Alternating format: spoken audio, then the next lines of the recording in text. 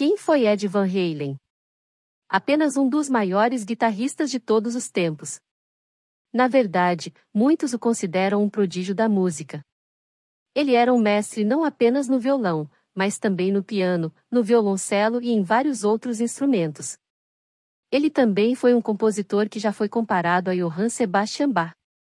Ed Van Halen nasceu na Holanda em 1955. Sua família mudou-se para Pasadena, Califórnia, no início dos anos 1960. Crescendo com herança holandesa e indonésia, Van Halen aprendeu a falar holandês e inglês quando criança. Ed e seu irmão mais velho, Alex, se interessaram por música desde cedo. Ed era talentoso no piano antes mesmo de pegar uma guitarra. Logo, porém, ele estava dominando os solos de guitarra enquanto Alex praticava a bateria. Os dois formariam metade da banda com o nome deles, Van Halen. Tornou-se uma das principais bandas da década de 1980. Van Halen lançou grandes sucessos como Jump, You Got Me e Panamá. Outros companheiros de banda vieram e foram, mas os irmãos Van Halen permaneceram. Como guitarrista principal da banda, Ed Van Halen ganhou fama por seu som único e presença de palco empolgante. Ele era conhecido por seus solos emocionantes na guitarra elétrica e por bater com as duas mãos. Nessa técnica, o músico usa as duas mãos para soar notas no braço da guitarra. Van Halen não apenas se destacou na guitarra, ele a revolucionou. Ele criou a guitarra Frankenstra combinando uma Fender e uma Gibson. Ele também deteve três patentes durante sua vida. Todos foram para invenções relacionadas ao violão. Apesar dessas realizações, o Van Halen nunca aprendeu a ler música.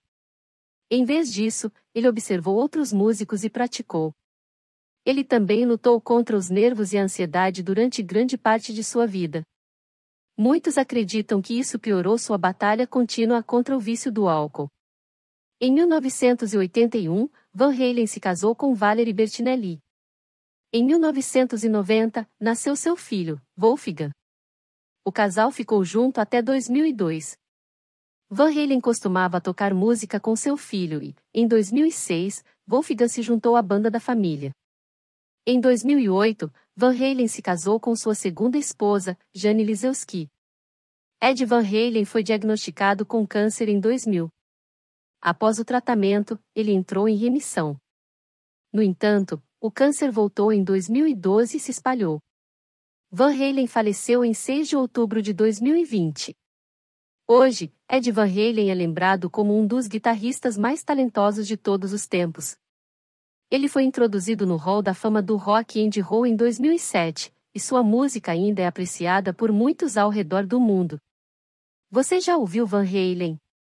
Você é fã de alguma outra música das últimas décadas? Ed Van Halen é um dos muitos gigantes do mundo do rock and roll. Passe algum tempo ouvindo alguns dos seus favoritos hoje.